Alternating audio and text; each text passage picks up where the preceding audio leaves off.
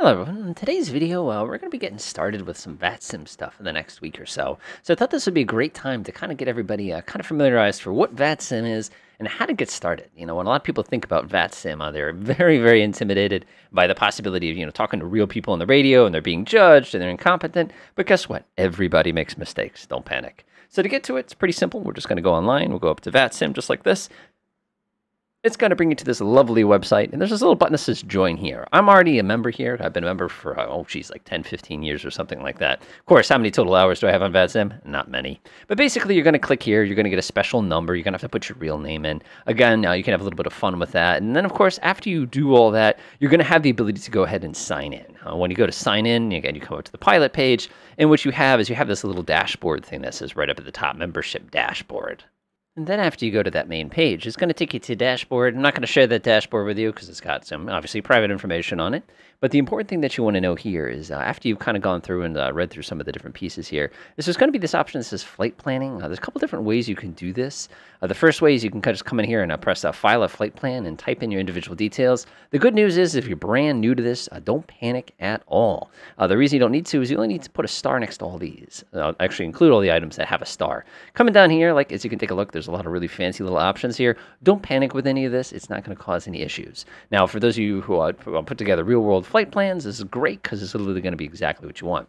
So, for example, let's say I want to go ahead and uh, use you know my standard airplane. I always fly 725 Quebec. 25 Quebec. Uh, let's say we want to do a VFR. A type is a Cessna 172. You just type that in over light. Uh, we can type in equipment. Now, everybody panics when they see equipment here. What is an equipment code? An equipment code is basically what is the aircraft capable of. S means standard. So if you are, for example, typing in cow equipment codes and just press enter there, it actually brings you to this nice little documentation that explains everything. As I said, S means everything. So what I like to do too is not just S. Uh, S, by the way, simply means you have nav, ILS, VOR, stuff like that, ADF. But the other one I usually come down here to is include our GPS. So you can see of GNSS. So if you do have a GPS, you can come in here and go boop SG. So now we're code SG, meaning standard, plus GNSS. Now, there's a lot of really fancy ones in here, but I wouldn't worry about any of these because that big old fashioned S is pretty much every single item. Again, as you can see here, S basically equals OLV, if you want to think about it another way. Once that detail has been covered, we can talk about what transponder we have here. Now, the transponder, of course, uh, we have um, there's different types of transponder codes as well. Just to make your life more interesting, we type in transponder codes. Now, the nice thing is this isn't critical. So you don't have to panic on that one too, too much. So we know to say what kind of mode are we? Mode C is mode A and C. Mode S, we are mode C. So I'm just going to come in here and press C. Don't worry about it. You just notice that the default there was an L, which simply says we have everything in the universe available. We can put that one in here too. Don't worry about it. It's not going to hurt anything. So now what we do is we come down here, we simply define what our departure point is. Let's say we're coming from Hartford. We say what time we're leaving the blocks this is the time uh, you intend to wheel backwards. Um, for the good people at um, VATSIM, you want to do this preferably about a half an hour before you actually roll off. Let's see, it's about 1:38. Watch out though, it's UTC time, so make sure you convert to the correct amount of time. Again, they don't make this easy for you. I don't know why, but what are you supposed to do? So let's see, 138 plus 4 would be a 538, but it's a 24 hour. So 538 would be 1738. So we'll go up to 1800 will be our block time. That'll be 6 o'clock in the evening UTC, or 2 o'clock for us. Altitude, uh, we're going to keep it pretty low. We'll say 2,500 feet. Airspeed, it's a Cessna 110. Arrival is where we're going. Uh, let's see, we want to go up to, uh, let's keep this nice and simple. Set this as departure. Let's go up to, well, let's do Pittsfield today. Why not? Set as arrival. Looks pretty groovy to me. And I'm going to go ahead and type that one in KPSF. Alternate, whatever. Uh, time on route. Uh, looks like it's going to take us 44 minutes. 0044. Fuel endurance. If it's a Cessna, you got about 5 hours and 30 minutes on board. Now, you're probably sitting here going, "Well, is there an easier way to do any of this? Mm, you can actually import them. Or what you could do, of course, is you can write them up on your own as well if you want to do like, you know, your own SkyVector or Flute. You can also come down here and uh, define the route details, in which case I'm just going to say direct. I'm not going to do any fancy flying or anything like that. Again, all this stuff, don't panic about it. This is uh, going to be for advanced folks. One thing you do want to do, though, see where it says voice rules? If you intend on using your voice to control the airplane, make sure you actually dial this in. If you're really, really, really new, feel free to use text only. Uh, voice is fine. You can also do receive voice. And usually during remarks, I really say let people know it's your first flight down here if it's the first time you've ever done it. Once you're ready to go, don't pull the trigger on this until you're actually um, intending on actually flying at that time. Once you hit this trigger, you're going to be sending it to their computers, and they're going to be the ones who are going to go ahead and decide it. Now you're sitting here going, okay, don't push the button. Don't worry, I won't push the button. Don't worry, I'll get to that. So, how do we know if we're going to have to talk to anybody? Now you're sitting there going, hmm, what's up with that? VATSIM map. So, watch this. This is a interactive map of everything going on in the world. Uh, one of the things I like to do, this is all VATSIM by the way, so there's this neat little ATC button I always turn on. It'll actually light up the different controlled zones that you see. For example, I noticed that uh, Boston here has a ground controller, hence the little G. I also noticed that Philadelphia down here has themselves a ground controller as well as an A, which means an approach controller. Starting to get intimidated yet? Don't panic, it's not as bad. We also know that Binghamton uh, also has an approach, which is a little interesting because I've never flown up that way. And we know, of course, us, we're sitting down here basically in the center of a good old fashioned uh, Connecticut here. So do we need to talk to anybody on this flight? Well, maybe. I know you're sitting there going, well, there's nobody covering us right now. Let's just go. Well, the problem you're going to have, and this is where it gets kind of scary, is the fact if you take off, uh, it's assumed that you've done everything you needed to do for your flight plan. However, if somebody signs in at any point, let's say a Bradley approach signs in and takes control of this airspace, you're expected to talk to them and let them know you'd like to pick up your flight plan. Again, these are little things you're going to kind of get the hang of. But the greatest thing is you don't have to do that if there are no air traffic controllers around. So here's the tip. Go flying somewhere up here, and you're never ever going to have to worry about talking to anybody. You can just experience what it's going to be like flying in VATSIM without panicking. Okay, so with that all out of the way, let's go take a look at your VATSIM client. So I'm going to go ahead and type in vPilot is the one we use for Flight Sim. You go on here, it's super, oh my gosh, this thing is so easy to use. You literally download it, install it, and then you set yourself up with something that looks a little bit like this. Now the way vPilot works is super duper duper duper simple. What it does is it talks to the flight simulator. So in this case, uh, let's go ahead and uh, click on the fly button here. And now we're in business.